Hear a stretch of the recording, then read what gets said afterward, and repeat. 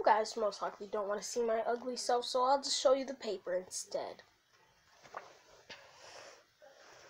Minecraft Steve. Okay. Minecraft Minecraft I think is the best game ever.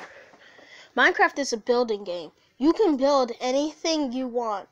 There are three modes creative, survival, and hardcore. Oh, I forgot to mention the uh, people who made this. Minecraft and its modes by Ben Bocquelet, I think. December 3rd, 2018. Yeah, you think you can know the date. In creative, you can build anything you want. You have unlimited resources. If you are a pro, you don't need survival. I mean, you don't need creative, sorry. Creative is mostly for building.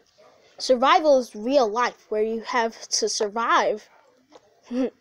you have limited resources. Pros like to play this survival mode. The pros like to play survival. Hardcore is survival, but you only have one life. For PC players, on console it's called adventure. Adventure mode, you can't break any blocks, not without tools. Minecraft has a tutorial to learn more. You will see how good it is. Please play Minecraft. Thank you for reading.